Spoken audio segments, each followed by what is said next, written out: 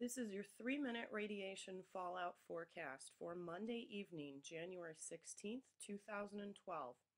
The areas with the highest potential for radiation fallout based on current radar, jet stream forecasts, and precipitation tables are as follows. In Canada, current radar from the Weather Office at Environment Canada shows light rain at the present time from Vancouver through Calgary. The heaviest rain is occurring right now between Windsor and Toronto, moving east. Additional rainfall may develop over British Columbia and Alberta over the next 72 hours. Canada will be spared of most of the jet stream movement for the next 48 hours, but that may change starting Wednesday night. In the U.S., an unusual jet stream pattern will be touching upon northern Alaska, However, most of the precipitation will be located east of Alaska in the Yukon Territories and Northwest Territories. Hawaii will be spared of jet stream activity. In the continental U.S., the jet stream will be covering every state with the exception of Florida.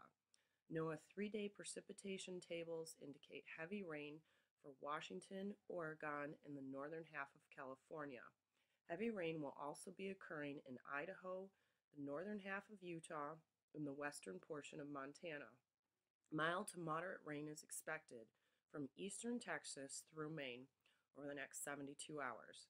In Europe, light rain is forecasted for the eastern coastal regions of Spain, all of Ireland, and the eastern half of Germany, with scattered light rain for the rest of Eastern Europe. Snow is expected for Austria and the Czech Republic.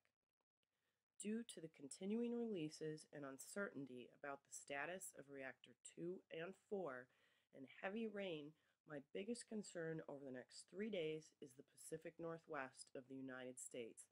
Please avoid any contact with rainfall, and if you do get rain on your skin, shower as soon as possible and use baking soda as a decontaminant.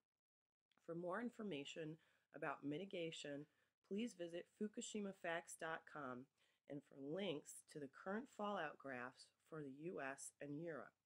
This forecast has been brought to you by Radchick and the Orion Talk Radio Network. We care about you because your government doesn't. Please care for others as well. Stay safe.